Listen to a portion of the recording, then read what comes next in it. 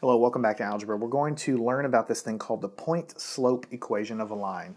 And it's really, really important, if you haven't already done so, to go back to the previous lesson, the one just before this one, and watch that material if you haven't already done that.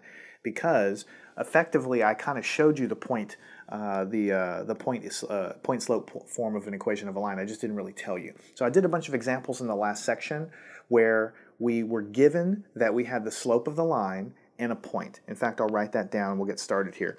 We were given in the last section, we were given two pieces of information. We were given the slope, right? That's m, and we were given a point on the line.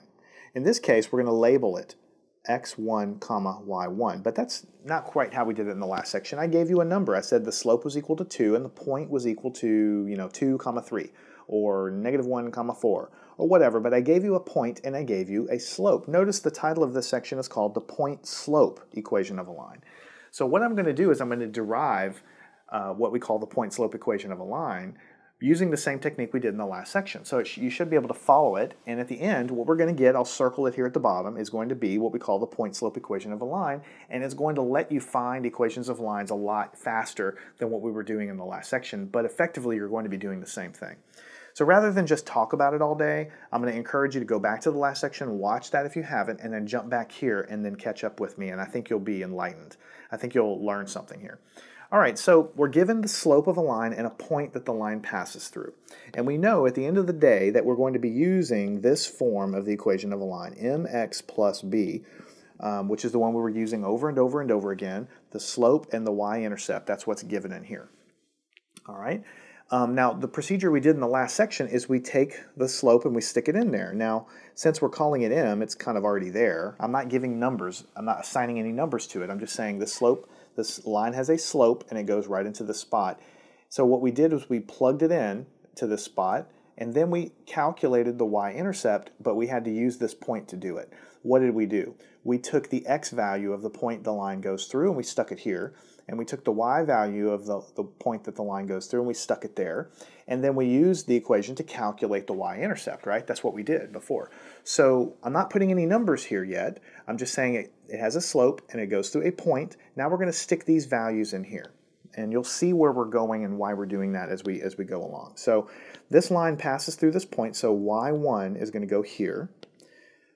Y1 equals m, and then we plug the x value into here x1 plus b. This is the procedure we did before when we, had, we were given a problem with a lot of numbers, right? We put the slope in, and then we put an x and a y value of the point that it passed through, and then we calculate b. So let's isolate b. How do we get b by himself? We subtract this term, mx1, bringing it to the other side. So b, if you can convince yourself, is basically going to be y1 minus mx1. All we did was subtract mx1 from this side, meaning it disappears, and we subtract it from the other side, making it y1 minus mx1. b is all by himself. So we're doing exactly what we did before. We calculated the y-intercept. Now what did we do at the end of the day? Once we figured out what it was, whether the y-intercept was 3 or 4 or 2 or whatever, we stuck it back into this uh, equation of a line. So we're going to do the same thing. We're going to plug in b. So I'm going to write that down. Plug in b. Now, what do we get when we plug in b? Uh, y equals mx plus b, but now we've calculated that b is equal to this stuff. So we just take this value for b and we stick it in there, just like we were doing when I gave you b as a number, or when we calculated b as a number. So it'd be y1 minus mx1. Now I know we're getting a little bit deep here, but you're going to figure out, you know, and see exactly how we get there in just a second. Now what I want to do, I'm not going to tell you why yet, let's take this y1 and let's move it to the other side by subtraction. So we're going to subtract y1 from both sides. So on the left-hand side, it'll be y minus y1 equals, now on the right-hand side, we subtracted y1, so it disappears. All we have left is this term and this term, so all we have left is mx minus mx1. Okay, now we're almost done. On the left-hand side, we have y minus y1. On the right-hand side, we have this guy. Let's factor out an m because it's common to both terms.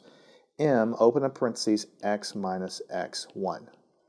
All right, so now I'm going to circle this and I'm going to tell you that this is what we call in algebra the point slope form of the equation of a line.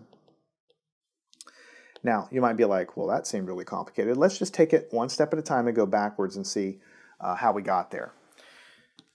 What we did was we started with the equation of a line that we know to be true. If we're given a, a slope, in this case, we're just leaving it as m. We're leaving it to be general. We don't know if m is 2 or 3 or 4, but we know that it's here. We can stick it into this equation and it becomes m. It just stays there as m. And this line passes through this point. We stick the x and the y values into this equation just like we did when we had numbers everywhere, and we solved for the y-intercept just like when we had numbers everywhere. This is what the y-intercept is equal to. Then we stick that y-intercept back into the original equation, just like we did when we had numbers, and this is what we get. And then we just take the answer and subtract y1, and then we factor out a slope, and there you go. This is an equation that you need to remember and memorize, and it's something that you're going to get a lot of practice with in algebra. Y minus y1 is equal to m times x minus x1.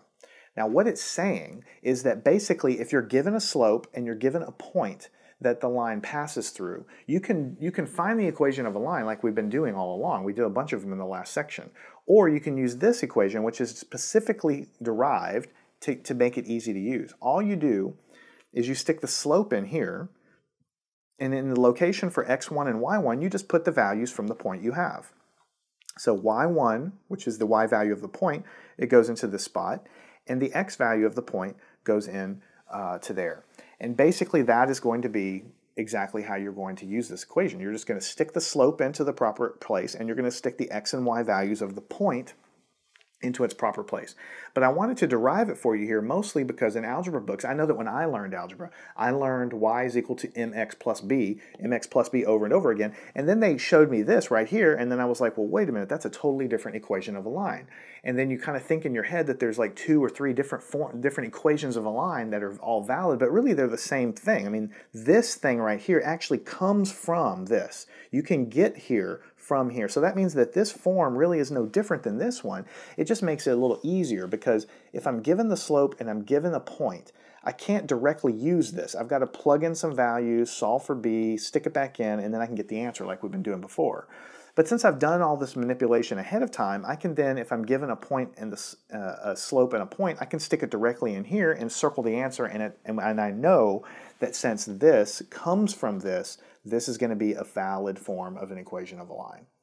All right, so that's about all I want to say. I could keep talking on and on and on about it. You probably should watch this lesson a couple of times just so you understand. But the main thing I'm trying to drill home is that even though this looks quite different than y is equal to mx plus b, it comes from mx plus b. So it is the same thing. It's just tailor-made for this kind of problem when you're given a slope and you're given a point. So what we're going to do in the next section, this lesson we just kind of derived it and I wanted to talk about it. In the next lesson we're going to solve several problems where we actually use it. So follow me on to those lessons and we'll do that now.